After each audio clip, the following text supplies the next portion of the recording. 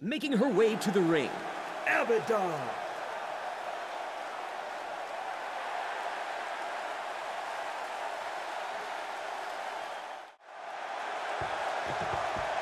Ah.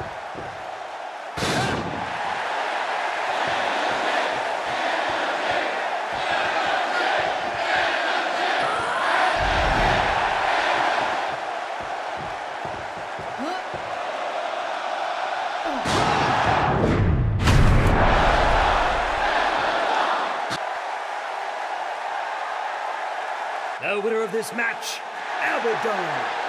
A fantastic match we had tonight.